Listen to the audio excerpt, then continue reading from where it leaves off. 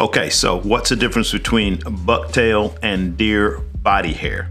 So deer body hair is a lot coarser and that was what you would use if you wanted to tie deer hair bug or the head on a muddler, something where you either want the fly to float or you're just trying to build up some bulk.